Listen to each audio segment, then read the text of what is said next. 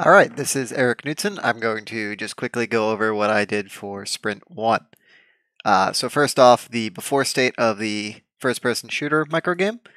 Uh, most of us, I believe, have seen it already, but it's pretty simple. You walk around, you have a gun, you can shoot some enemies, you can sprint. There's some pretty basic uh, player controls. Uh, I didn't change many of those, so uh, don't be expecting much in terms of that. A lot of what I uh, changed was art assets.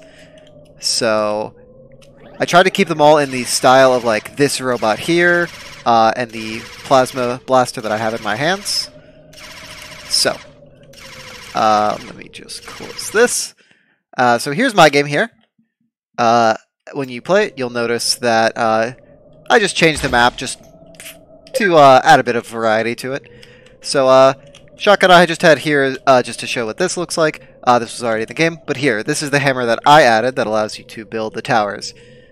Uh, when you left click while holding the hammer in your hand, it'll just place a, uh, a, a, tower model. Uh, they don't have any, um, any AI added to them yet, uh, but hopefully when I do the, the next sprints, the towers will actually uh, track and shoot at, you know, what the enemies as they're going down the track for the tower defense part of the game. So this here is the laser tower. I tried to model it after uh, the plasma pistol here. Colors are a bit different. Uh, the energy cells on the top didn't really work out the way I wanted to. I think I know why, but I just don't have uh, time to fix them right now.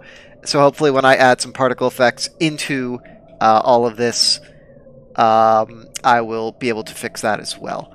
Uh, so the second tower is the rocket tower. Uh, it's pretty simple. I could add a bit more details here when I get a chance. I'm not entirely sure why I'm teleporting around, but maybe that's because of the WebGL build. Uh, pretty simple though. Again, we'll sort of do an AoE attack once I uh, code that in.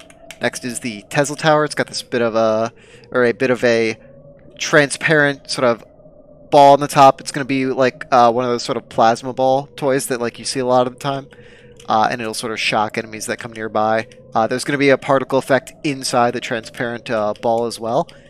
So uh, it, will look really cool, hopefully, once that gets added in. Uh, next is the uh, ice tower, sort of modeled after a bit of a snowblower. It's going to spin around and sort of launch snow projectiles out this way. and last here is the sniper tower, which is going to be like a very long-range tower. Deals a lot of damage. The clip on this one looks correct, the energy cell, uh, as opposed to the ones on the laser tower. So hopefully I have somewhere to go when I want to uh, figure out why that's happening. Uh, but yeah, that's pretty much it.